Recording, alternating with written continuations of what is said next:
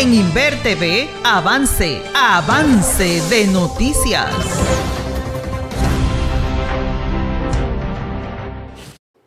La Policía Nacional en Puerto Plata rindió su informe. Sí, gracias a señores periodistas de diferentes medios de comunicación. Gracias por venir aquí al acostumbrado resumen de noticias, eh, comenzando la semana, y que ustedes quieren saber sobre el caso eh, ocurrido en el día de ayer en esta ciudad de Puerto Plata.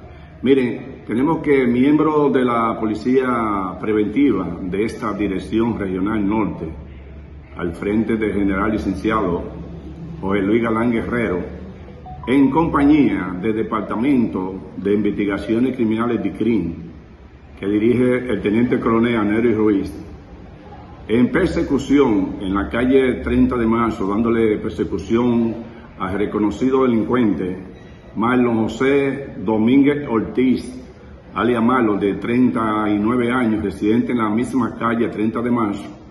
El mismo estaba siendo buscado por varias denuncias de penetrar diferentes negocios en esta ciudad de Puerto Plata, específicamente en la tienda Plaza Rosa, ubicada en la avenida Manolo Tavares Justo de esta ciudad de Puerto Plata, de los chinos, donde penetró y sustrajo varios objetos y dinero en efectivo.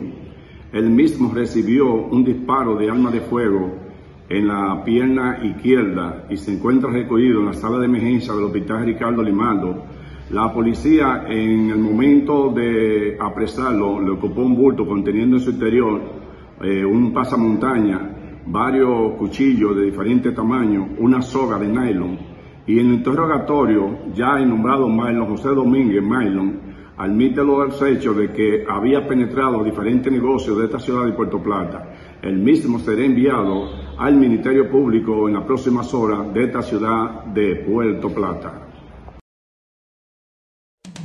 En Inver TV, avance, avance de noticias.